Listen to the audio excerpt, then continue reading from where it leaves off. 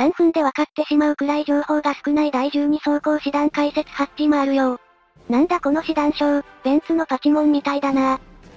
それはさておき第12装甲師団はフランス討伐後第2歩兵師団より編成された。師団の初陣は大祖戦であり、最初からクライマックスであった。中央軍集団の一員としてスモレンスクを目指した。その途中でソ連機構部隊の大規模な反撃に遭遇、これを撃退し、カーベイ1や T34 を含むソ連戦車832両を血祭りに上げた。ただ当師団は戦いの後半からの参加であり、多くの戦果は第7及び第17装甲師団のものであった。その後師団はスモレンスクを包囲し陥落させ、北方軍集団に移されレニングラードを目指すことに。北方軍集団が持つ装甲師団は第8と第12装甲師団のみであり、師団は貴重な戦車部隊として活躍。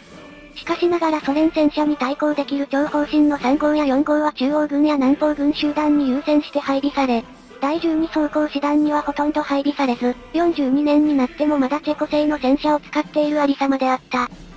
それでも戦車兵たちは奮戦し、幾度もソ連軍の反撃を撃退していた。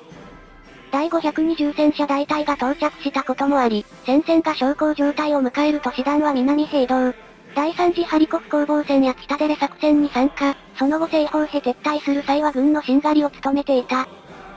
ソ連の一大反抗であるバグラチオン作戦によりドイツ中央軍集団が崩壊すると、師団は包囲された友軍を救出すべく奮戦したがそれも叶わず、西へ配送するしかなかった。そして今度は師団自身がラトビアのクールラントに閉じ込められることに。当初閉じ込められた師団たちは回路によって脱出する予定であったが、デイニッツやヒトラーの反対により統治に留まることに。結果として故郷を守らんとするラトビア人義勇兵たちと地獄のような防衛戦を繰り広げることとなる。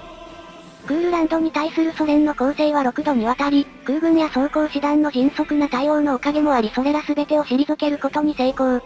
師団がこれら一連の戦いで果たした役割は多大であり、第一次クールラント攻防戦において一時ソ連に占領された大寿司の奪還を成し遂げている。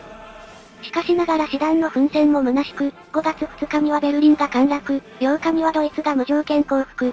師団はソ連軍に降伏し多くの将兵が強制労働に従事された。ただこれを良しとしないドイツ兵も多く、彼らは祖国の独立を願うバルト三国の兵士たちとソ連相手にゲリラ戦を繰り広げることとなる。終わり、平定。